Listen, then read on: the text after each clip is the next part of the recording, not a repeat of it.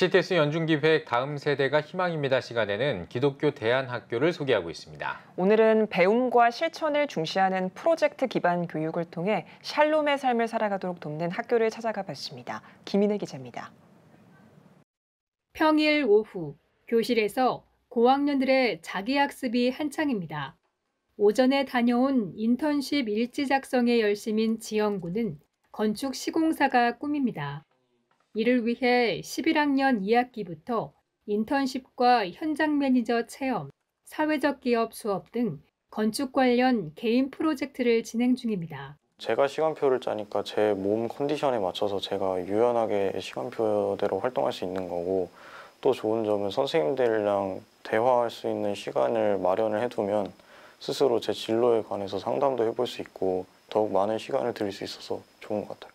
지영군처럼 학생들이 주도적으로 결과물을 만들어내는 프로젝트 기반 수업은 이야기 학교의 교육 철학인 샬롬의 삶을 누리고 만들어가는 그리스도인 양성의 핵심 교육 과정입니다.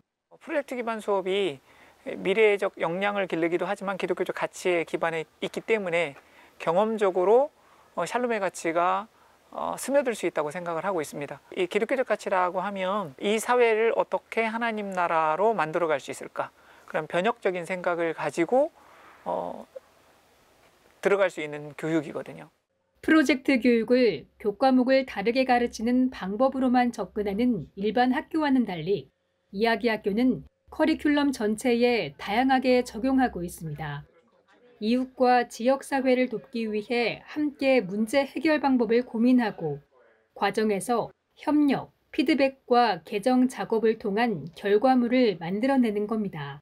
아이들이 굉장히 그 책에서만 보던 것들이 우리 주변에 있다라는 걸딱 깨닫고 그거를 직접 본인들이 준비할 수 있다는 거를 느끼면서 굉장히 그 수업의 몰입도가 엄청나게 많이 들어와지더라고요. 그래서 그냥 보편화된 일, 일률적인 수업에서 벗어나서 좀 아이들이 더 참여하고 더 적극적으로 할 수 있는 수업을 만들 수 있다는 거에 대한 좀 보람도 크고요.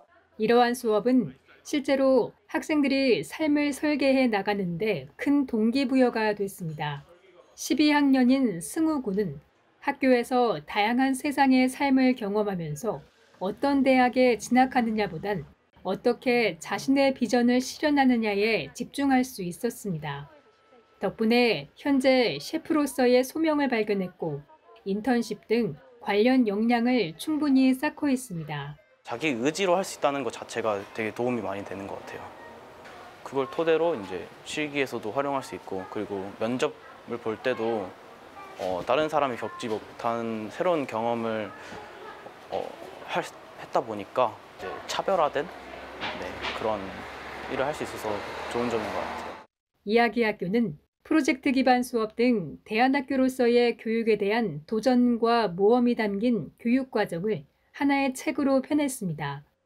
기독교적 가치 교육을 받은 다음 세대들이 이 시대의 인재로 세워지길 바라고 있습니다.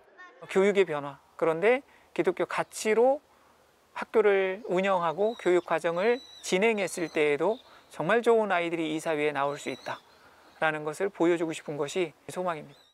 CTS 뉴스 김인혜입니다.